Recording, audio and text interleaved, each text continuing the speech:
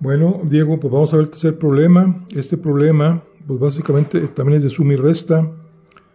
Dice aquí 24a cuadrada menos 33ab más 6b cuadrada menos 20a cuadrada menos 17ab más 5a cuadrada más 10b cuadrada menos 11ab más 3a cuadrada.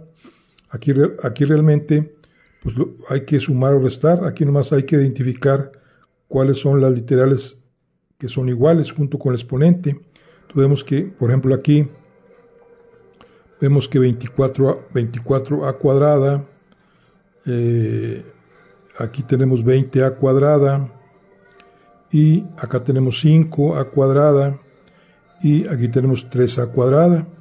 Entonces aquí nada más vamos a sumar o restar. Entonces aquí va a ser igual. ¿verdad? Pues 24a cuadrada menos 20 serían 4, 4 más 5, o sea, aquí está, o sea, esta menos 20 sería 4, más 5, 9, y 3, 11, aquí sería 11 a cuadrada.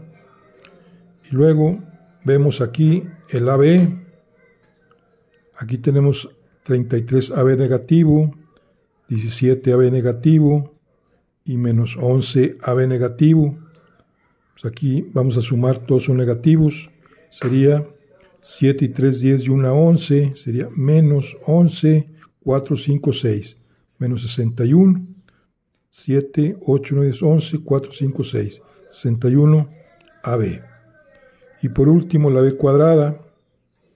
Tenemos nada más 2, 6 y 10 son todas las que tenemos. Aquí tenemos 6 y aquí tenemos 10. Esto es la cuadra que tenemos. 10 más 6 sería más 16. Más 16b al cuadrado. Y este sería, digamos, el resultado.